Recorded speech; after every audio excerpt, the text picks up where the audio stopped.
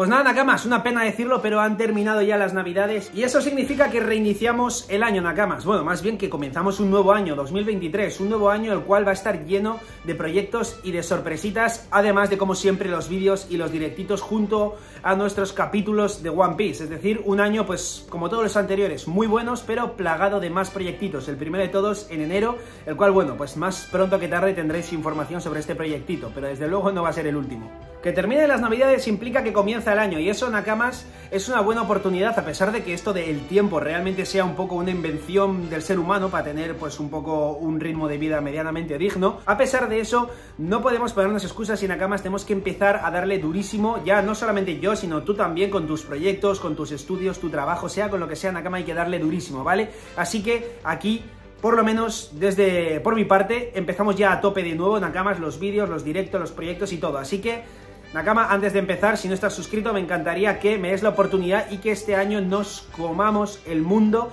como le prometió y le, le propuso Roger a Silver Regley nada más empezar su aventura. Así que Nakamas, me encantaría que si no eres Nakama todavía o me sueles ver habitualmente, vayas ahí y le des al botoncito de suscripción porque este año se vienen cosas muy gordas.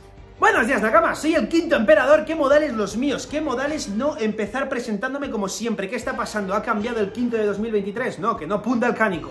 Y hoy os traigo el primer debatiño del año, un debate, pues bueno, que me apetecía que fuera un poquito peculiar, un pelín diferente, ¿vale? Porque ya sabéis que normalmente los debates suelen ser sobre cosas muy genéricas, eh, yo que sé, los Yonko, el gobierno mundial, algún tema en concreto que está muy de moda. Hoy me apetecía darnos un pequeño regalo, regalarnos un pequeño detallito a esos que somos muy fans de cierto personaje que cada día nos sorprende más a pesar de ya saber que es el favorito de Oda y en cualquier momento puede darle un puntazo a favor de este personaje y a día de hoy nos sigue sorprendiendo. El Jonko, literalmente, el Jonko Buggy.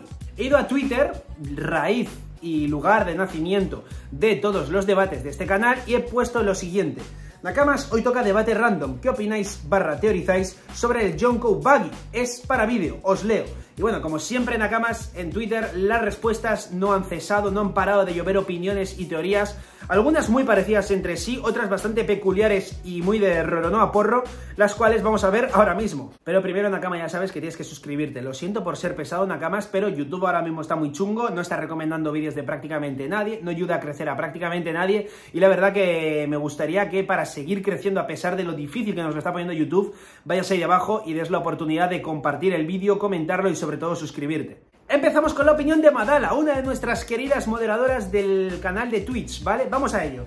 Creo que Baggy hace las cosas sin querer y sin mucha visión a futuro. Me parece increíble que sea un Yonko o alguien tan desastroso. Conclusión, me encanta y se nota que a Oda también. Totalmente, que se nota que a Oda también. De hecho, es que Baggy cuenta con un gran poder que ningún otro personaje, más allá de Luffy, cuenta en la serie, ¿vale? Y es el poder del autor, ¿vale? Como bien dijo Stan Lee en su momento, por mucho que dos villanos o dos enemigos en general, dos personajes se vayan a enfrentar y uno sea más fuerte que el otro, si el autor quiere que el débil gane, el autor va a hacer que el débil gane. Y literalmente esto es lo que pasa con Buggy, ¿vale? Y con Luffy también. Luffy al final es el protagonista y tiene el famoso poder del prota. Pero claro, Buggy no es tan siquiera un protagonista, simple y llanamente es el personaje favorito de Oda. Y esto hace que efectivamente tenga unos guionazos pues terribles y muy graciosos, que al final son como unos pequeños relaj... Eh, ¿cómo, se llamaba esto? Tenía un nombre, era un recurso literario muy típico.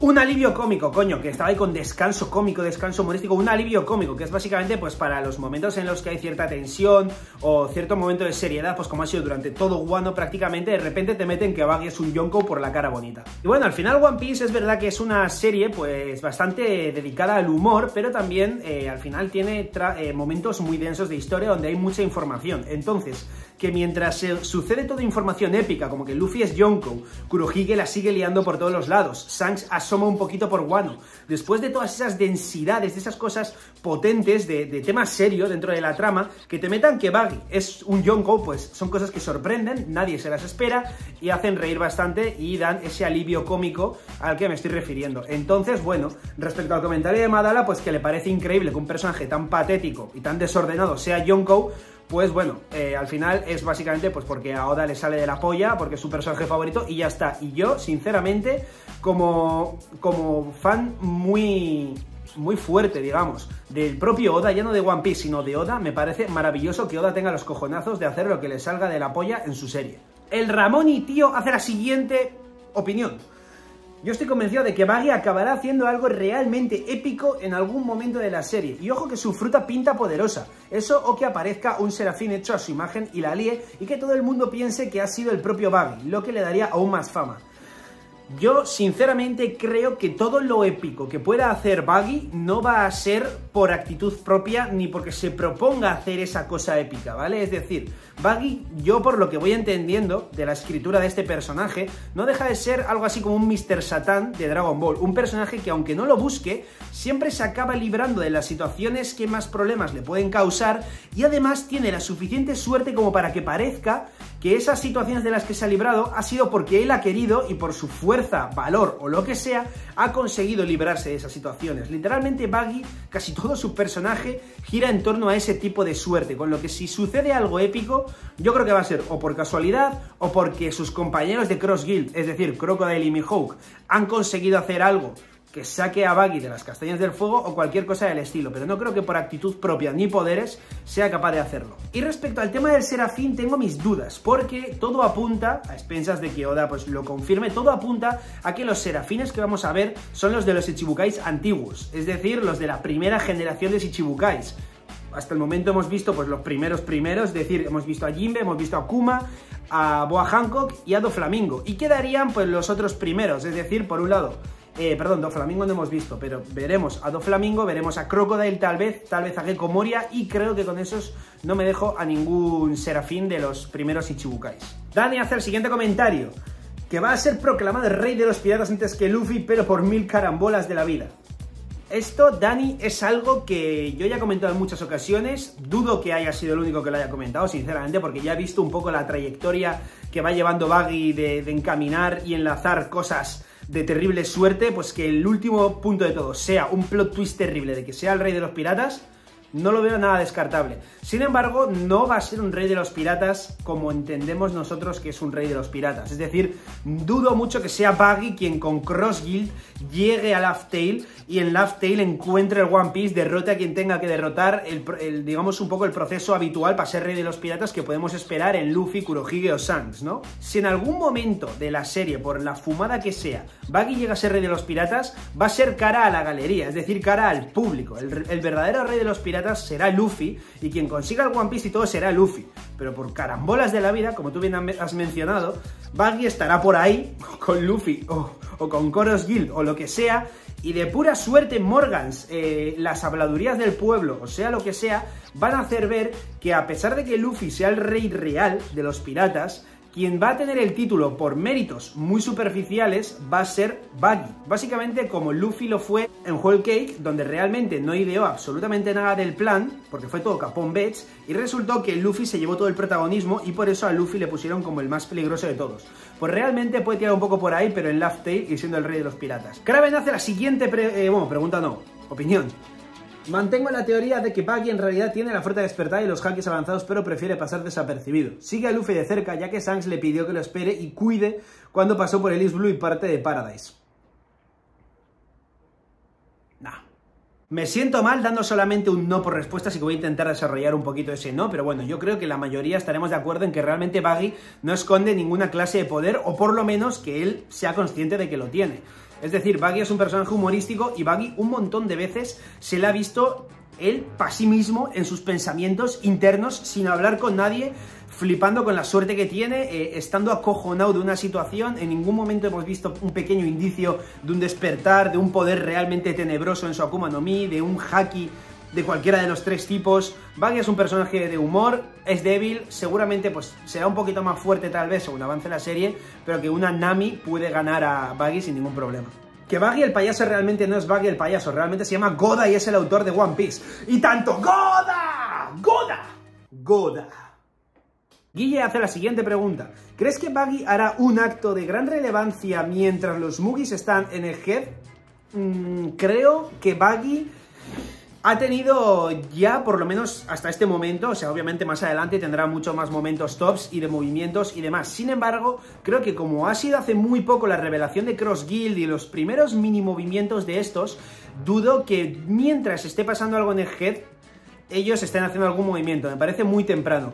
Y a ver, es cierto que poco a poco eh, se va todo cerrando y va siendo un embudo donde van a ser menos los personajes que va a haber girando en torno a la serie y entonces esos personajes van a tener más protagonismo y todos van a tener mayor movimiento y mayor actividad, pero creo que todavía no es el momento como para cerrar tanto el embudo y hacer que absolutamente todos los personajes tengan un mega super movimiento. Buggy junto a Cross Guild están haciendo cosas, pero de momento en Egghead yo creo que esa situación está bastante pausada. Nakama, si te está gustando el vídeo y no quieres que Foxy el Zorro aparezca por la noche para hacerte cosas turbias y oscuras en la cama mientras estás en plena parálisis de sueño, me encantaría por favor que vayas ahí al botón de suscripción, le des y de esta manera, además de ayudarme a mí suscribiéndote, te salves de esa terrible pesadilla y parálisis de sueño que puede afectarte gravemente, puesto que Foxy el Zorro no es ninguna tontería. Lady Mist continúa con este debate con su siguiente opinión. ¿Qué pasa si el misterioso aliado de Vegapunk es Buggy? Lo que tengo claro es que la suerte de ese Krusty le llevará a Laughtale de una manera u otra. Con lo último estoy de acuerdo, con lo de que llegará a Laughtale. De hecho, bueno, puesto que junto a Shanks fueron los únicos nakamas de Roger que no llegaron a pisar Laughtale. Entonces es un poco como que Buggy tiene esa cuenta, esa deuda pendiente con Laughtale, ¿no? Que es el hecho de encontrarse. Que, ven, que vaya junto a Luffy o de una manera u otra accidentalmente acabe en Laughtale, ya os digo que no me, no me sorprendería lo más mínimo. Y respecto a que esa persona es Buggy, la que está ahí como, como aliado de Vegapunk, lo descartaría totalmente, puesto que Buggy ya tiene sus movidas en Cross Guild con Crocodile y con Mihawk, y sobre todo con intentar seguir vivo al lado de esos dos. Luego, por otro lado, también, porque según la traducción que nos aporta Sangoro y otros traductores, entendemos que esa conversación que hay mediante Ende Musi, el japonés que emplea la persona aliada a Vegapunk, utiliza un japonés bastante educado y bastante correcto, ¿vale? Y Buggy no es de ese tipo de personajes que emplea esta clase de japonés. Con lo que eso, por eso, lo descartaría, por, por eso, aparte por lo de Cross Guild que he comentado, y por otro lado porque dudo que Vegapunk eh, viera en Buggy un personaje con la suficiente fortaleza y energía y todo como para poder bajarse al CP0, porque recordemos que Vegapunk cuando anunció esto, cuando dijo tienes que salir a dar hostias, ahí él dijo que sería capaz de retener al CP0, con lo que yo de momento descartaría esa opción de que sea Buggy y ampliaría las opciones a que sea un posible Scooper Gavan o mi principal apuesta, el Bartolomeu Kuma original, no el Kuma falso, que sería el Kuma que creemos que es verdadero, ¿vale? Ese resultaría ser falso, y el Kuma verdadero sería el auténtico guardaespaldas de Vegapunk, aliado de Vegapunk que veremos ahora. Esa es mi apuesta. Nacho hace la siguiente opinión. Yo creo que Baggy es el One Piece. A ver, puede serlo, ¿no? Baggy primero prometió ser un Yonko, después de ser un Yonko, que ya lo cumplió, por cierto, prometió ser el rey de los piratas, lo cumplirá, pues después de ser el rey de los piratas, ¿qué es lo que puede ser? Pues ya está, pues el One Piece en general, y a chuparla. Así que sí, me parece bien. Baggy es el One Piece. Y para cerrar este debachiño, nuestro querido Nakama barra baja Y33TB barra baja hace la siguiente y última opinión. Mi problema con Baggy es que no sé cómo van a encarar y encajar Cross Guild en la actual trama. No sé cómo Cross Guild puede llegar a influenciar a los Mugiwaras. La única teoría que tengo sería ya en un conflicto final en el que exista alguna alianza pirata contra el gobierno mundial. Yo estoy también de acuerdo en que veo más probable que Cross Guild sea una especie de aliado de negocios, o por lo menos rollo Luffy con Betch, ¿vale? En Whole Cake, un poco ese rollo de alianza, más que enemigos naturales. Lo veo más de esta manera.